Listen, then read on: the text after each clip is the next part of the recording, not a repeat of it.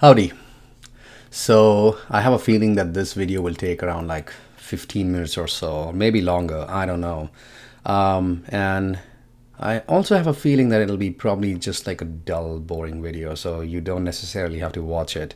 Fair warning. But what I'm planning to do here is create a couple of flows, and I'll tell you why and what's the reason behind those flows.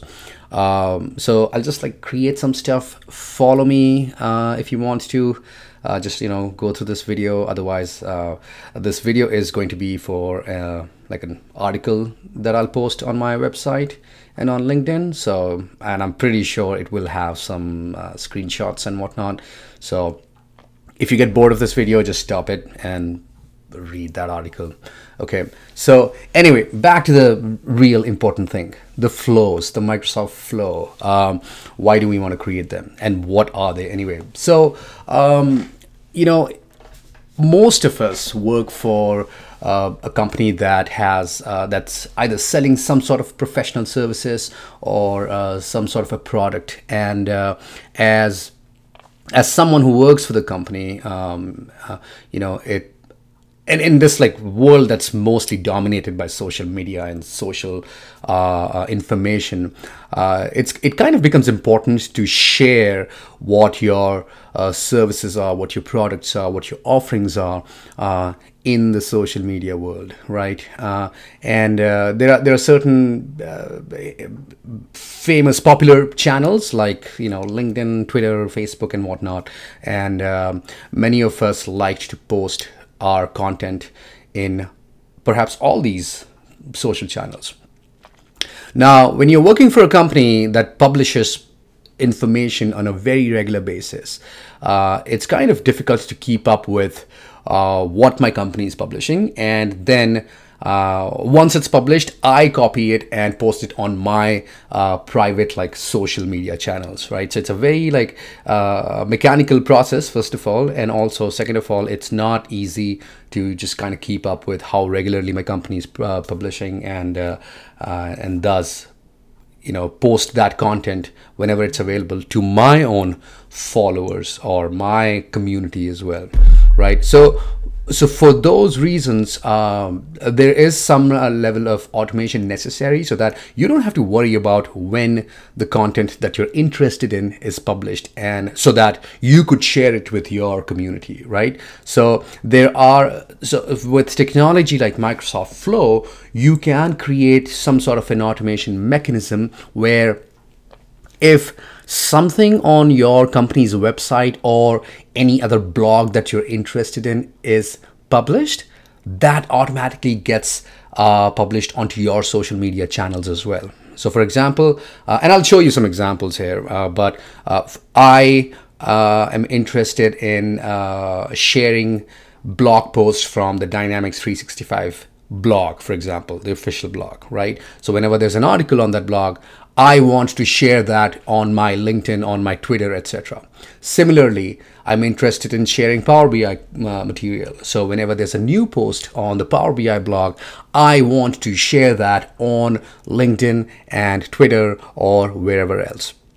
So either I keep keep an eye on those posts uh, regularly, and then whenever they're posted, I copy the link manually and then post it on my social media, or I create a flow that will do that for me automatically. Okay, let's see how. So uh, now I'll start with a simple example. So as I mentioned, I am interested in the Power BI blog. So whenever there's a new post on the Power BI blog, I want this post to be shared automatically automatically on my uh, social networks. So um, for that, the the most essential thing that I need is the RSS feed. Okay, so um, any blog that you follow, whether it's your company's blog, whether it's your you know the product that you sell, it, that's its blog uh, or any other blog for that matter, every blog has a RSS feed. Okay, and usually you can uh, you can look at it, you can know that it's available by looking at this like icon that looks like. Um, some waves, right? Uh, or even you have a button that says subscribe. So when you click buttons like these, what you get is the actual RSS feed, and these feeds are what are used by so many like you know uh, blog aggregators or services like Microsoft Flow to fetch information from these blogs. Okay, so once I have this RSS feed, what I have to do is, uh, so I'll, I'll copy it. Okay, I'm going to use this, uh, but essentially what I'm doing is I'm creating a flow, a Microsoft Flow that will fetch information from that feed and do what I want it to do with it, which is actually publish to my social media networks. Um, so I'm going to go into my flows here and uh, I will create a new one. Uh, so let's start with a blank template okay? And usually you'll see some some popular connectors that are already available. Uh, and in fact this is the one that I actually want all right? Uh, looks like it's a popular one but still let's ignore it for now and go with search hundreds of connectors and triggers. Um, so I'm gonna go with that. And this is just to show you how to look for a certain trigger uh, or a connector okay? So I can just find I can just type in the thing that I'm looking for all right? So here's the RSS uh, connector which I want. Uh, so I'm gonna click it. And uh, the trigger that's available uh, is when a feed item is published right? And that's what I want. Um, so I'm gonna just click it. And uh, this is where it asks me to enter the URL of the feed which we copied from the website all right? So there is that and now I want to add a new step here. Okay, so whenever a feed item is published from that URL, which is the Power BI blog, I want to add an action and I want this to uh, go on my, let's start with Twitter. Okay, so it's right there. Um, so I'm to choose Twitter and let's look for post a tweet. That's what I want because I want that blog post to become a tweet from me. Okay, so I choose post a tweet and it will ask me to sign in. Looks like I've never signed in to, uh, I've not used this connector before. Oh, jeez. Oh, okay, do I know my password? No, that's not it. Ugh. I hope it works. Fingers crossed and it did. Okay thank goodness.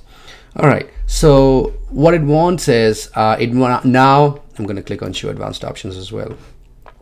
So the tweet to be posted is the text that I want to go in there. And I would want it to be um, the feed title okay? And I would put a space in there and I would say the feed link. All right. It doesn't want to go there there primary feed link.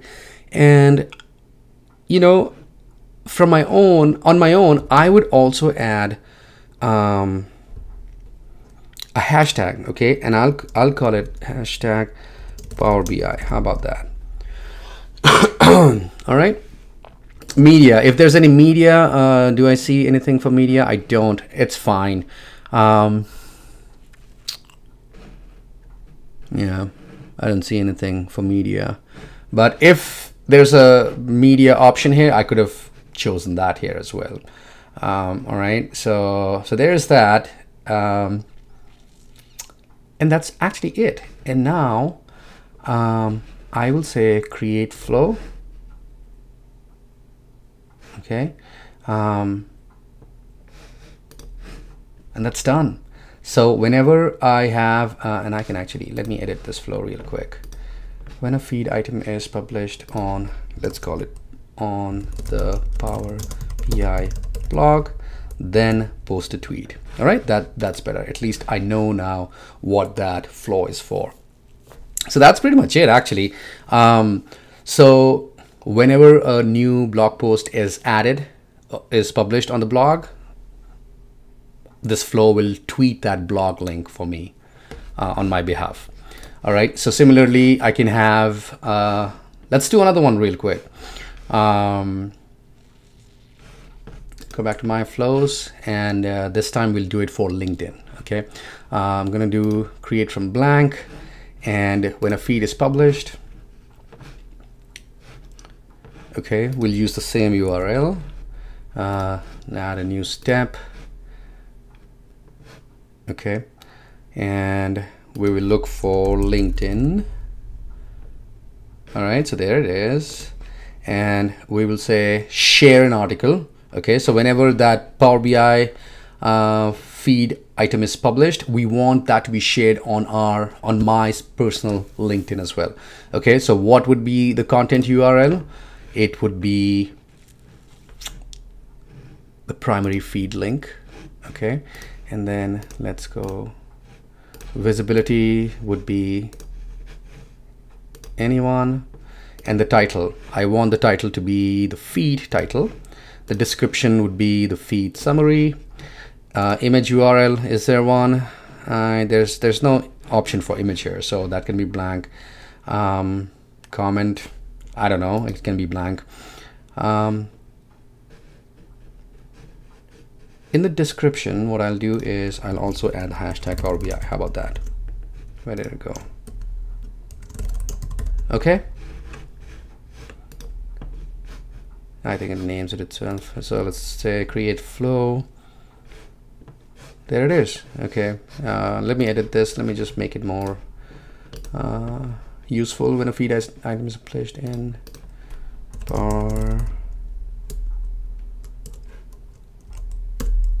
on Power BI blog, share an article on LinkedIn. That's better.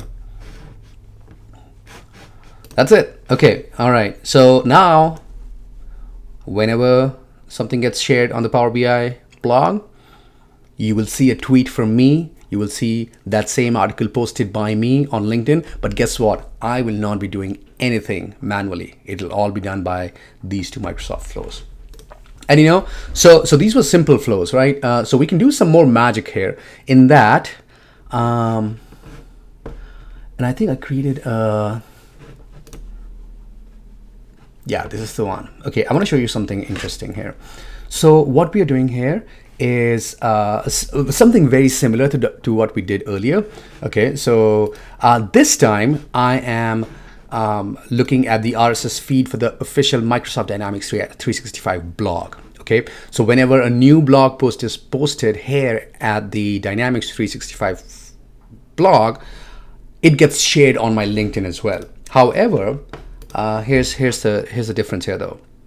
What I'm doing here is I'm checking for a con condition.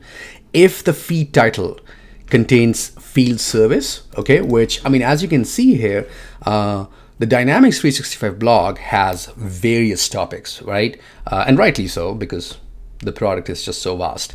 Uh, but you can see that, you know, it has posts about social engagement, customer engagement, field service, project service, and whatnot. So what I want to do really is I want to use the appropriate hashtags for each of these uh, posts right? So what I'm doing here essentially is uh, I am looking at the feed title. If it contains a specific word or a specific keyword or keywords, then I am uh, adding some specific like hashtags. Okay, so you can see here I'm adding MSDyn365 and hashtag field service. Similarly, the other condition is if it contains social engagement, then I'm adding hashtag MSC, hashtag social engagement um, and things like that. So I can, you know, make this more elaborate and uh, use as many hashtags as I want, as I can add as many conditions as I want. But just so you know, the flow gives you so much flexibility in that it's not just sharing content for you, it's also making it more useful for your community members so that when they're looking at the post that you shared, they know that it's for social engagement or for field service or for project service or for customer engagement, right? So if they are interested in customer engagement uh, content and they know that you always post awesome customer engagement content and uh, uh, they they they're always interested in knowing what you publish right so if they see the hashtag customer engagement and they see that it's coming from you they would be definitely they surely will uh, will click on it and read that content right so yeah so this is something that i wanted to show you uh, the first one the power bi one was more simple we just had the rss feed and then we just shared it but here we are adding some conditions we are looking at the content And depending on what content it is, we are using certain uh, hashtags. That's pretty much it. I don't know how long this video is. Um, ooh. Yeah, so I hope this helps. Um, so yeah, based on these flows in the future, if you see things from me on my LinkedIn, uh, you know, me posting about like Power BI or um, Dynamics 365, you know that it's because of this flow. So get on it. It's pretty awesome. Thanks for watching.